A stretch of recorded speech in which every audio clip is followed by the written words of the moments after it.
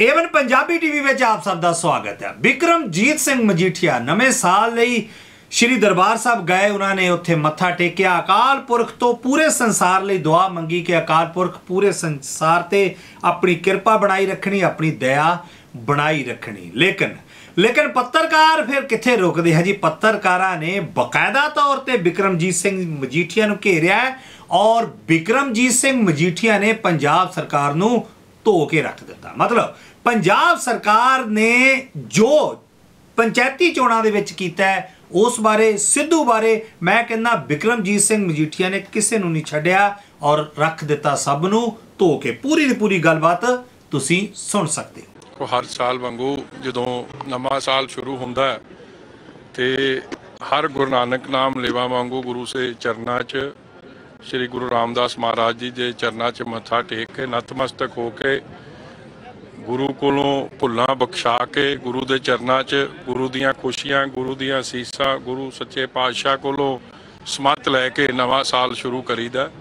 ਸਮੂਚਾ ਪਰਿਵਾਰ ਜਿੱਥੇ ਗੁਰੂ ਸਾਹਿਬ ਦੇ ਚਰਨਾਂ 'ਚ ਨਤਮਸਤਕ ਹੋਣ ਵਾਸਤੇ ਇੱਥੇ ਆਏ ਆ, ਭੁੱਲਾਂ ਬਖਸ਼ਾਉਣ ਆਏ ਆ, ਗੁਰੂ ਦੀਆਂ ਬਖਸ਼ਿਸ਼ਾਂ ਅਸੀਸਾਂ ਲੈਣ ਵਾਸਤੇ ਆਏ ਆ, ਉੱਥੇ ਮੇਰੀ ਸਮੂਚੇ ਗੁਰੂ ਸਾਹਿਬ ਦੇ ਚਰਨਾਂ 'ਚ ਸਮੁੱਚੇ ਪੰਜਾਬ ਵੱਲੋਂ ਅਰਦਾਸ ਬੇਨਤੀ ਹੋਊਗੀ ਕਿ ਗੁਰੂ ਸਾਹਿਬ ਇਹ ਆਉਣ ਵਾਲਾ ਸਾਲ ਪੰਜਾਬੀਆਂ ਵਾਸਤੇ, ਗੁਰੂ ਨਾਨਕ ਨਾਮ ਲੇਵਾ ਵਾਸਤੇ ਖੁਸ਼ੀਆਂ ਭਰਾ ਹੋਵੇ, ਤੰਦਰੁਸਤ ਭਰਿਆ ਹੋਵੇ, ਦਿਨ ਦੁੱਗਣੀ, ਰਾਤ ਚੌਗਣੀ ਤਰੱਕੀ ਪੰਜਾਬ ਦੇ ਕਿਸਾਨ ਨੂੰ, ਪੰਜਾਬ ਦੇ ਮਜ਼ਦੂਰ ਨੂੰ, ਪੰਜਾਬ ਦੇ ਵਪਾਰੀ ਨੂੰ ਪੰਜਾਬ ਦੇ ਹਰ ਵਰਗ ਦੇ ਲੋਕਾਂ ਨੂੰ ਗੁਰੂ ਸਾਹਿਬ ਖੁਸ਼ੀਆਂ ਬਖਸ਼ਿਸ਼ ਕਰਨ ਪੰਜਾਬ 'ਚ ਇਤਫਾਕ ਸ਼ਾਂਤੀ ਬਖਸ਼ਿਸ਼ ਕਰਨ। ਸਰ ਇਲੈਕਸ਼ਨ ਚੋਣਾਂ ਹੋਈਆਂ ਕਿਸ ਤਰ੍ਹਾਂ ਤੁਸੀਂ ਦੇਖਦੇ ਹੋ ਨਾ ਚੋਣਾਂ ਨੂੰ? ਪੰਚਾਇਤੀ ਚੋਣਾਂ ਮਨਪ੍ਰੀਤ ਬਾਦਲ ਦੀ ਵੋਟ ਵੀ ਜਿਹੜੀ ਨਕਲੀ ਵੈ ਗਈ ਸਪਸ਼ਟ ਹੀ ਹੈ ਜੀ ਫਿਰ ਇਹ ਤੋਂ ਬਾਅਦ ਕੋਈ ਦੇਖਣ ਨੂੰ ਰਹਿ ਨਹੀਂ ਗਿਆ।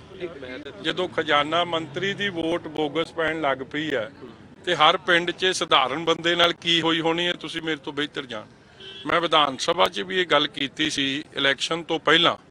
ਮੈਂ ਉੱਠ ਕੇ ਹੀ ਗੱਲ ਕਿਹਾ ਸੀ ਮੈਂ ਕਿਹਾ ਜੇ ਤਾਂ ਲੋਕਤੰਤਰ ਦੀਆਂ ਧੱਜੀਆਂ ਉਡਾਉਣੀਆਂ ਪਿੰਡਾਂ ਦੇ ਲੋਕਾਂ ਨੂੰ ਇਹ ਅਧਿਕਾਰ ਨਹੀਂ ਰਹਿ ਜਾਣਾ ਕਿ ਉਹ ਕਿਹੜਾ ਪੰਚ ਤੇ ਕਿਹੜਾ ਸਰਪੰਚ ਚੁਣਨਾ ਚਾਹੁੰਦੇ ਆ।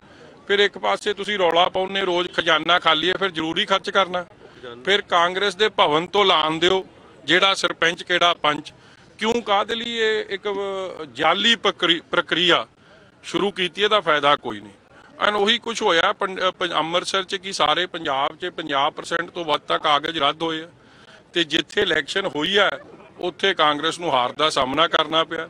ਤੇ ਜੇ ਜਿੱਤੇ ਆ, ਤੇ 10-10 ਵਾਰੀ ਵੋਟਰ ਲਿਸਟਾਂ ਬਦਲੀਆਂ ਗਈਆਂ, ਵੋਟਾਂ ਡਿਲੀਟ ਕੀਤੀਆਂ ਗਈਆਂ। ਜਿੱਤਿਆ ਕੋਈ ਅਨਾਉਂਸ ਕਿਸੇ ਨੂੰ, ਮੰਤਰੀ ਦੀਆਂ ਵੋਟਾਂ ਜਦ ਵੋਕਸ, ਬੋਗਸ ਪੈ ਗਈਆਂ, ਤੇ ਸਧਾਰਨ ਬੰਦੇ ਦੀ ਤਾਂ ਗੱਲ ਹੀ ਛੱਡ ਦਿਓ ਨਾ। ਉਹ ਕਹਿੰਦੇ ਜੀ ਛੋਟੇ ਮੋਟੇ ਘਟਨਾਵਾਂ ਹੁੰਦੀਆਂ ਰਹਿੰਦੀ ਕਾਂਗਰਸੀ ਲੀਡਰ ਹੈ ਕਿ ਕਲੇਮ ਕਰ ਰਹੇ ਨੇ। ਸੁਭਾਵਿਕ ਹੈ ਜੀ, ਜੇ ਉਹ ਸਮਝਦੇ ਕਿਸੇ ਮੰਤਰੀ ਦੀ, ਖਜ਼ਾਨਾ ਮੰਤਰੀ ਦੀ ਵੋਟ ਜਾਲੀ ਪੈ ਜੇ ਤੇ ਛੋਟੀ ਮੋਟੀ ਘਟਨਾਵਾਂ ਨੇ ਫਿਰ ਉਹਨਾਂ ਨੂੰ ਮੁਬਾਰਕ ਜੀ ਇਹ ਜੀ ਇਲੈਕਸ਼ਨ ਖਜ਼ਾਨਾ ਮੰਤਰੀ ਦੀ ਵੋਟ ਹੋਣੀ ਕਿੰਨਾ ਕੁ ਵੱਡਾ ਲੋਕਤੰਤਰ ਤੇ ਹਮਲਾ ਸਮਝਦੇ ਕਿ ਕੈਬਨਿਟ ਦਾ ਇੱਕ ਬੜੀ ਵੱਡੀ ਗੱਲ ਹੈ ਜੀ ਤੇ ਇਹ ਜੀ ਦੇਖੋ ਉਹ ਇੱਕ ਨਾਮਵਰਗ ਇਨਸਾਨ ਹੈ ਖਦੀ ਪੰਜਾਬ ਦਾ ਖਜ਼ਾਨਾ ਮੰਤਰੀ ਜੀ ਉਹਦੀ ਬੋਗਸ ਵੋਟ ਪੈ ਗਈ।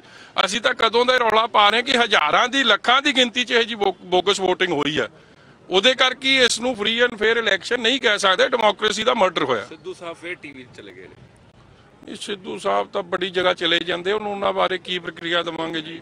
ਨਹੀਂ ਪਰ ਫਿਰ ਵੀ ਟੀਵੀ ਦਾ ਦੁਬਾਰਾ ਦੱਸਤਾ ਚਲੋ ਚੰਗਾ ਜੀ ਉੱਥੇ ਜਨਰਲ ਬਾਜਵਾ ਨੂੰ ਤਾਂ ਨਹੀਂ ਨਾ ਜੱਫੀ ਪਾਉਣਗੇ ਇੱਥੇ ਹੀ ਜੀ ਸੈਟਰਡੇ ਸੰਡੇ ਮੈਂ ਆਇਆ ਕਰਾਂਗਾ ਜੀ ਮੈਂ ਗੁਰੂ ਏਦਾਂ ਜੀ ਉਹਨਾਂ ਨੂੰ ਦੇ ਘਰ ਨੂੰ ਨਮਤ ਨਤਮਸਤਕ ਆ ਜੀ ਮੇਰੀ ਗੱਲ ਸੁਣ 2 ਮਿੰਟ ਰੁਕ ਜਾ ਮਤ ਹਾਂ ਦੱਸੋ ਦੱਸੋ। ਉਹ ਕਹਿੰਦਾ ਜੀ ਮੈਂ ਕਹਿੰਦੇ ਸੀ ਕਿ ਮੈਂ ਸ਼ਨੀ ਇਤਵਾਰ ਰਿਹਾ ਕਰਾਂਗਾ।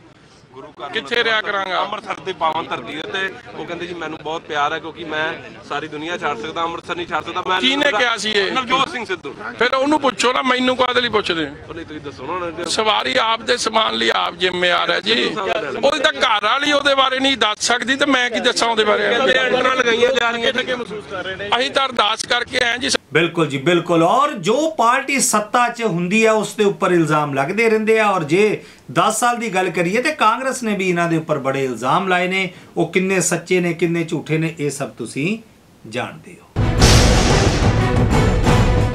For new updates, please subscribe A1 News and click the bell icon.